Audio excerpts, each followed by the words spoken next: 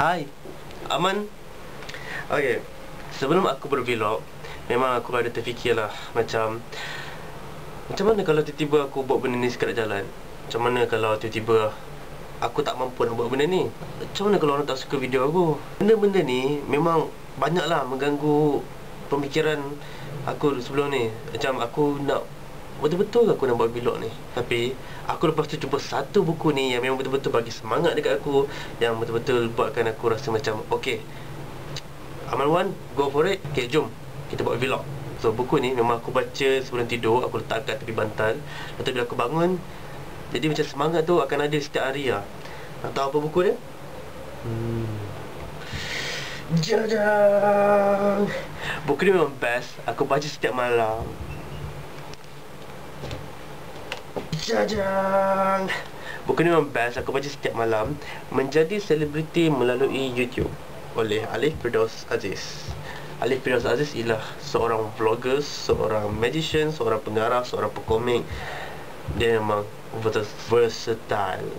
Memang cool gila Mamat Memang sangat best. Kalau korang nak Korang kena beli lah buku ni. Jadi Aku akan huraikan Sedikit tips menjadi selebriti melalui YouTube oleh Alif Firdaus Aziz dengan Aman Wan punya style. Check it out.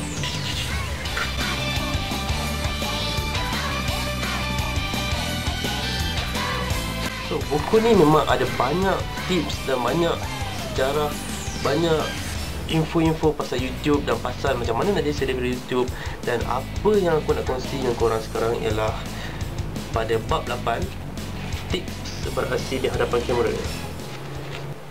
Tips nombor satu. Pandang kamera seperti pandang rakan yang berbual dengan kita.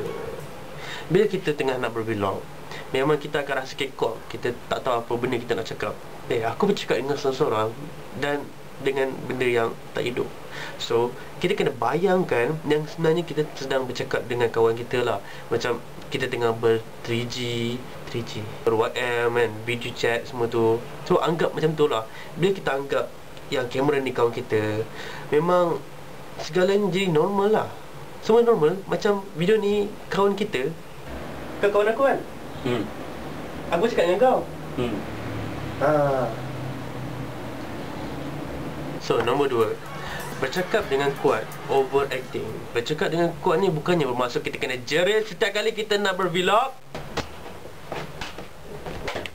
Eh, kita just just ada volume tertentu dan jangan berbisik ah. Sebab orang yang berbisik ni macam tak apa-apa berbisik kan. Tak boleh nak cakap apa kuat. Sebab semua orang tengah tidur. Nombor tiga. Cari topik sebelum bercakap. Okay, selalunya aku macam Aku akan buat draft.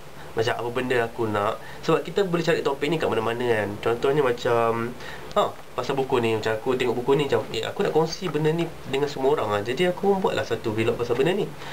So, kebiasaannya Aku akan buat macam ni. Okay Ini ialah satu draft. Pasal tragedi bilik mandi Bilik basuh Yang aku buat Secara spontan lah. Ni ada skrip sikit Secara spontan. Dan lepas tu Kalau ada benda yang macam uh, Aksi yang aku rasa aku kena buat Yang tak ada dialog Jadi, jadi aku just Lukis lah. Lukis. Nampak? So bila aku lukis ni Jadi aku akan ingatlah benda tu. Dan tak semestinya kita kena follow benda ni 100% Sebab uh, Lagi spontan tu lagi bagus. So ini cara aku lah. Cara korang Mungkin korang ada cara tersendiri. Nombor 4 Bersenam. Bersenam ni memang bagus untuk kesihatan. Sebab bila kita bersenam Jadi kita macam akan banyak berpeluh Dan kita akan lebih aktif. Kita bersenam, kita berjogging kita Yang penting kita keluarkan peluh. Sebab bila benda tu Kita akan rasa macam badan kita sihat Dan kita akan buat benda-benda yang best lah So bila kita dah ada badan yang sihat Otak kita dah cerdas Jadi macam benda yang kita nak cakap tu Topik yang kita nak cakap tu Memang semuanya ada. So Cuba bersenam Dan kekalkan korang punya stamina. Sebab itu memang bagus untuk korang punya Apa-apa je Termasuklah vlog Okay mandi. Okay mandi ni sebenarnya dia Dapat bagi kesegaran kat korang tau. Kadang-kadang macam kita malas bukannya sebab kita Malas sangat.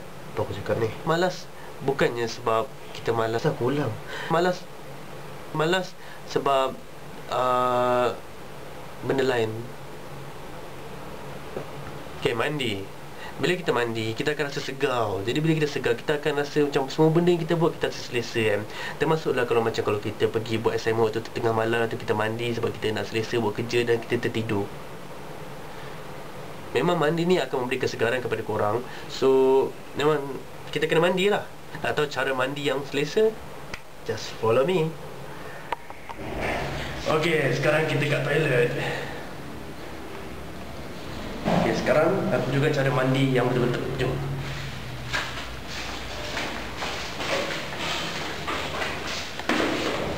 Okay. Korang sangat pervert. Tips nombor 6.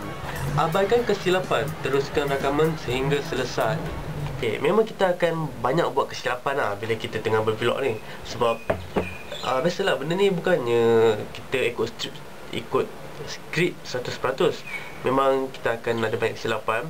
Tapi yang penting kita jangan stop rakaman kita. Kita teruskan rakaman tu dan sebab bila kita stop benda tu akan jadi spoil lah. Sebenarnya kadang-kadang bila kita ada tersilap tu kan benda tu yang nampak jadi fun tau. Tapi kadang-kadang juga kita boleh buat uh, kesilapan yang palsu tau Contohnya macam uh, Eh, uh, terkena sakit Kelakar Kelakar. Tapi kesilapan yang palsu Kadang-kadang buat orang annoying. So, just lupakan. Sebab orang suka apa yang jadi secara spontan sebenarnya. Sebab itulah orang tengok YouTube. Cuma kalau ada terlalu banyak kesilapan tu jangan letaklah kat YouTube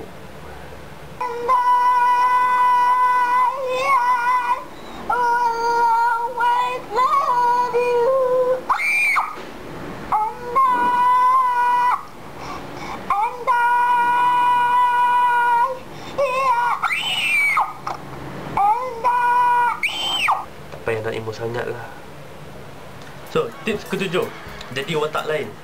Bila kita nak bervlog ni Tak semestinya kita kena jadi watak yang diri kita sebenar. Kadang-kadang ada orang tu Dia, dia pendiam. So, tiba-tiba dia jadi sangat excited Dalam vlog So, jadi orang yang Rasa penonton Nak tengok bila